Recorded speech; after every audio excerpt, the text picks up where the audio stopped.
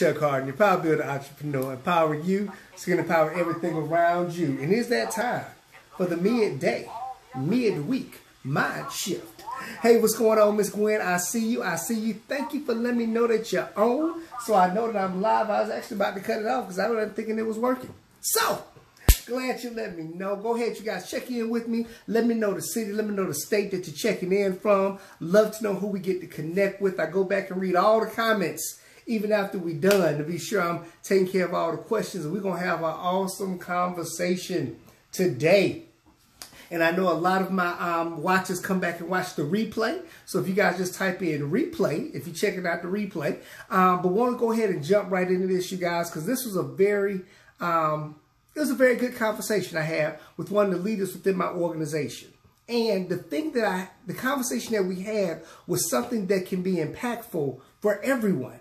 Whether you're the leader of an organization or not, you're leading somebody, even if you're just leading yourself. So this is going to be a good conversation for you guys. So what we're talking about as leaders, um, and I've been blessed to be in the network marketing industry for a while. They had a lot of a lot of success, you know, ups and downs in the industry like everyone else. But one of the key factors in order to create or build a great organization is you have to really become a leader.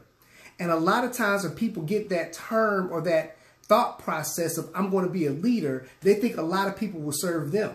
But in actuality, as a leader, you're really serving a lot of individuals. You serve a lot of people and you help a lot of people. But one of my team members was asking me, and um, even when I was coaching a person um, last week, they had the same question. How do I get people not to quit on themselves so quickly? How do I get people to see the success that can happen or to see their better selves? How can I help someone be more successful? and that's what kind of the question led into. How can I help someone else become more successful? What can I do to help them create better success? And the thing I think they were looking for, what they were kind of looking for was what do I need to do to order to help them be successful? This is a challenge as leaders that we bump into because we see the big picture and we can see greatness in people sometimes before they see it in themselves. But the one thing that you cannot do is you cannot be successful for them. There's actions you cannot take for them. As leaders, we have to help guide them to their own level of success. We have to, but they have to go through the challenges. You know, they have to go through the through the fight, through the change, through the development, through the evolvement that must happen in order for them to be successful. So when you think about that, what can I do to help someone else become successful? Think about it just in the exact same way as we do for our kids. You know, we want greatness for our kids. Me and my wife, we, we have a conversation all the time, is we can't protect them from the world. We have to equip them to deal with the world. We have to show them the success that they have. So this, this, this is two things, or really three things you can do. One, thing number one, you have to paint the vision of their future self. You can't do the work for them now in order for them to be successful, but paint the picture of their future self. Paint the vision of their future self, right? So you'll be able to paint the picture of what life can be like. Paint the picture of the success that they can have, right? So that's one thing they can do. The second thing you can do is you have to tap into their why.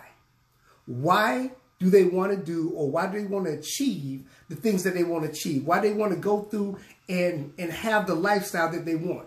It can't just be about money. It can't just be about fame. You know, it has to be a deeper rooted reason in order to go through all the things you have to go through to really create success. So you have to help them identify their why. And maybe my next conversation will be how do you identify a great why when you know you have a strong enough why? You know, I, will put that in there. Right? So we paint the vision as leaders. We help them tap into their why and we instill belief. Even if we can, we might see belief stronger in them than they see in themselves. So we instill belief into them. Again, we can't do the work for them, right? When, when I was coming up through, through the ranks of some of my companies, I have mentors and I still have mentors. One of my mentors, every time I asked him a question, he would never answer the question, but he would always tell me where the answer was. I mean, it could be the simplest thing. So I might call him up and I say, hey, you know what? Hey, do, or I might send him a text and say, when's the next conference call? Simple question. When's the next conference call? He could very easily tap back and say, next Wednesday at 9 p.m. He could easily do that. But what he would type back would be this long message saying, go to our team website, click on conference calls, click on this, and it'll tell you where the next conference call is. Now, in my mind, I'm thinking it would be easier for him just to type in, it'll be Wednesday at 8 p.m.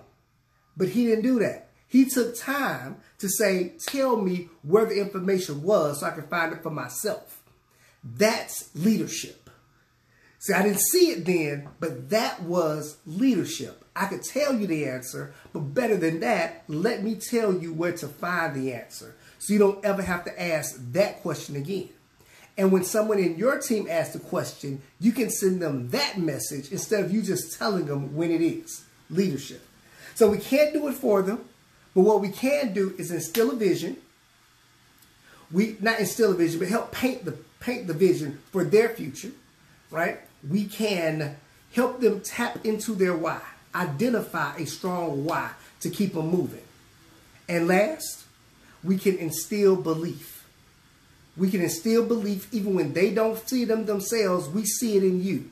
Just like we have to instill belief in our kids. You can do it. You can make it happen. You can be great. You know, we have to instill that. So whether you're a leader of an organization, whether you're a leader of a business, whether you're the leader of your family, you're leading somebody. Understand that is your goal. That's your responsibility is to do those three things to help build them, not do it for them. All right? So guys, a quick conversation. Chuck Hardon, your power building entrepreneur, empowering you so you can empower everything around you. Talk to you guys soon. Peace out.